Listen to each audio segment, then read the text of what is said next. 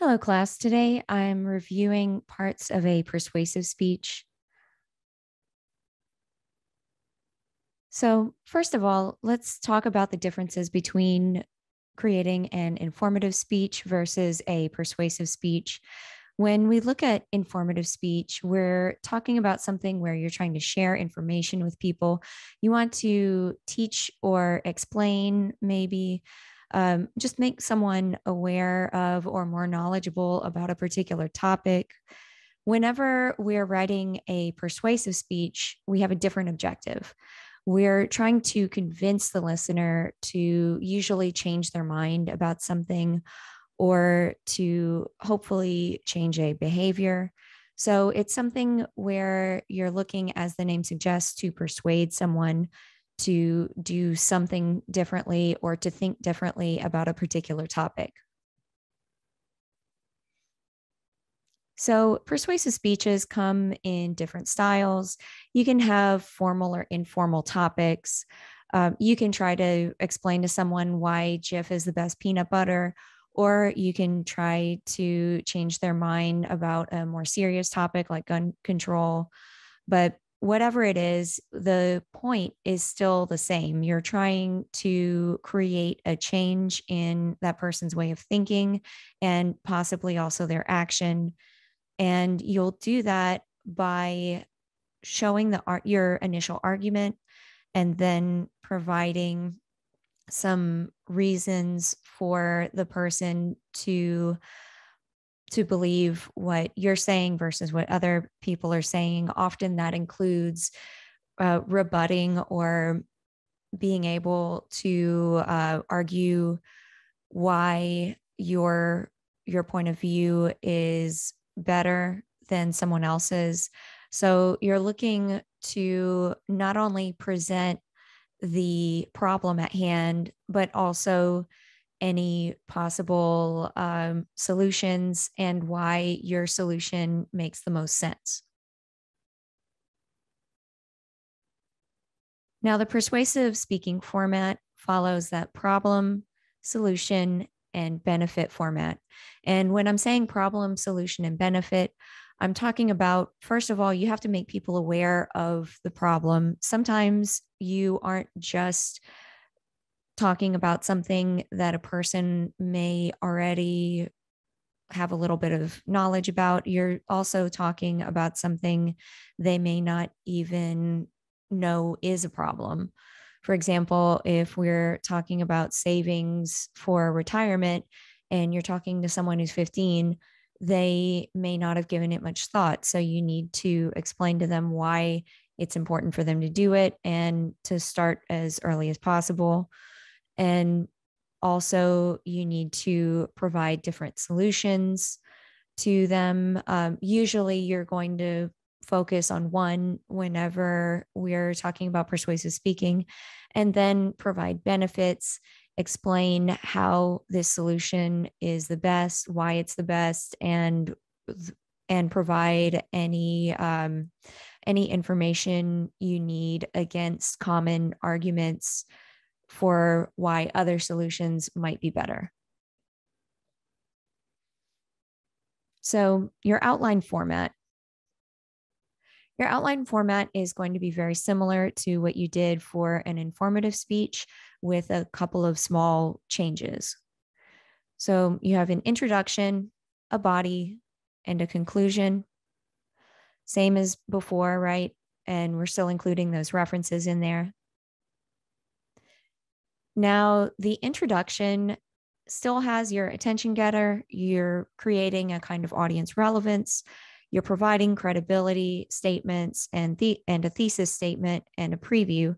Now, I included an asterisk by the thesis and preview because those are the two components that will be a bit different than what you did for your informative speech. So the intention, the attention getter, you're still looking to engage your audience. You want to maybe use some kind of question related to your topic or statistics, so facts, information your audience might find odd or something they may not have known before you started speaking. You could include a funny story or another, um, maybe some other way of relating to your audience through an example. Just in general, you're you're trying to get their attention first and then move into the rest of your speech.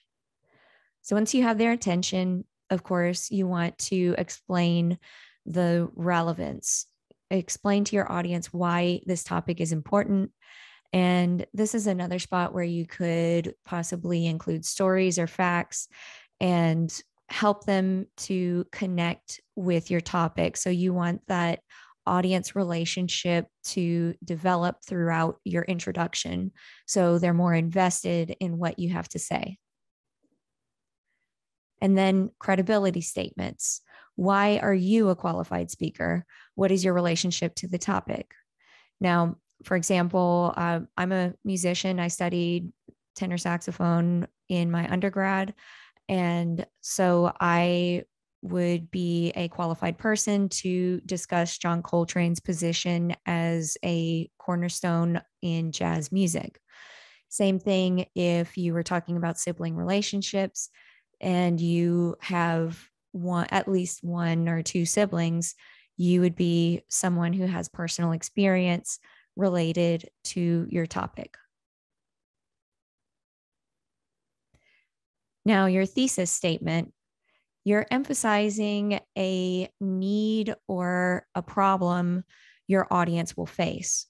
So, this is where it's a little different. Instead of giving kind of that multi point overview uh, of your topic in the same manner as you would when you're informing your audience, in this case, the information you're giving them is your argument. You are saying, This is a problem, and I will tell you how to address it throughout the course of the speech. So you name the problem, you're stating your argument, but you are only hinting at what is coming up in your speech. You aren't you aren't giving them everything right away. Now, in your preview, again, this is kind of connect this is connected to what you're developing in your thesis. So your thesis explains the problem and in your preview you are implying the solutions you're going to discuss. You're going to explain those solutions throughout the middle of your of your speech continue explaining and providing benefits after you give a few, a bit more information about the problem. So your body is still in three parts, except now you're breaking it down into identifying the problem with additional information, providing your solution, and then, of course, the benefits of your solution and the benefits of your solution versus other possible solutions. So you're going to describe your problem. This is where we're taking that information we started in our introduction, where we named the problem, and now we're describing it for the audience. We're providing additional statistics, more facts, or stories, possibly quotations from different people and you're helping your audience understand the problem a little better and why it's so important and should be important to them. Now, your second your second body paragraph is your solution. This is where you're saying, okay, so you brought them down by talking about the problem, how bad it is, and that it's something that they should find concerning. And now we are going to start talking about the solution. Describe your solution. So lay it out for your audience in as you know relatable terms as possible and say why your solution works.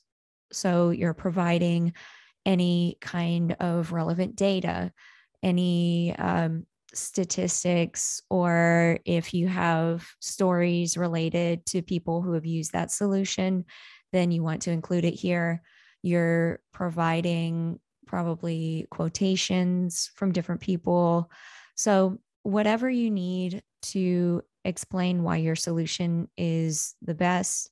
And of course, again, this is a great time to continue to, you know, work on that audience connection and use a combination of not only data, but also something they would find more interesting. Usually it's that kind of personal touch where you're providing a, a story, a relatable story for them. And benefits. So, your third paragraph is you're supporting your position. We're providing additional information about why how this solution works and how it is the best for your audience. So, again, any relevant statistics, stories, quotations, it doesn't have to be in that order for any of these body paragraphs, but keep in mind you do want to continue not only to build that audience um, connection, but also maintain their trust, show that you do have knowledge and information about that particular subject, and that you've actually researched everything and you're able to provide that information for them. So, as I mentioned earlier, when we talk about benefits, we also need to address alternative views or solutions. And when you're doing that, you don't have to devote as much time to this as you would for the other part, but you do want to address at least one or two of the most common alternative user solutions. And whenever you do that, you're explaining why this view um, isn't as good as your solution. So you might say, yeah, you know, this particular um, this particular item does technically get the job done, but the one I am proposing works better. And your conclusion. So, after we've gone through alternatives, um, well, after you've named your problem, we've gone through your solution, the benefits to your solution, and the why the alternatives aren't as good. Now we are coming to the conclusion. You want to signal the ending, refer back to your thesis statement, and why the audience should feel more inclined to go along with your with your idea now and mostly you'll do that with like some of the key takeaways, maybe highlighting um, a few of the uh, a few of the most important points. And you could also have a callback to a person or a story you mentioned at the beginning. Use an emotional appeal. And I'm not saying in like a cheesy way, it's more about the fact that we as people are going to relate more to one another than we are to data. So, whenever you hear someone who's a really good speaker, listen to how they're trying to relate to their audience on a personal level, not so much on the here are the facts about why this my point of view is the best type of level. And of course, you want to have a call to action, explain how your audience can use the information you've given them and give them a way to move forward with that information.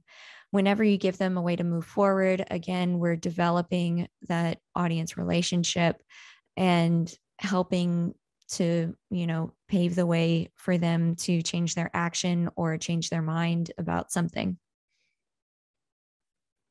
Now, a lot of speeches, when you talk to someone, whether it's in like a business setting or in day to day life, you're usually using a combination of informative and persuasive speaking.